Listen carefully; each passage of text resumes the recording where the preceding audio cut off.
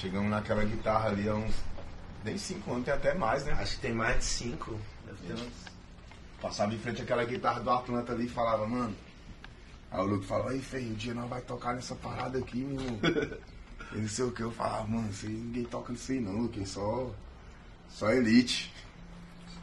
Nós virou elite, eu boto pé, mano. Vamos tocar hoje no Atlanta, tribo da periferia, sozinho. É hoje. Agora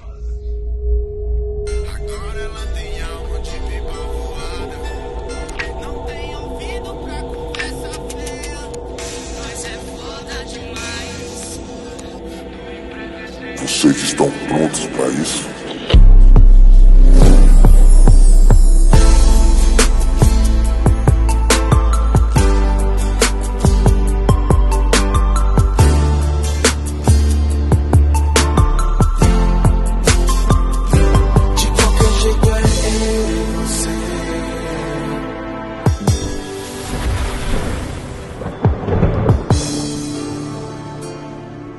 De e esse coletivo em Goiânia sempre é um bagulho especial, sabe, mano? Sempre é uma parada foda. Porque aqui faz parte muito do início do filme da periferia.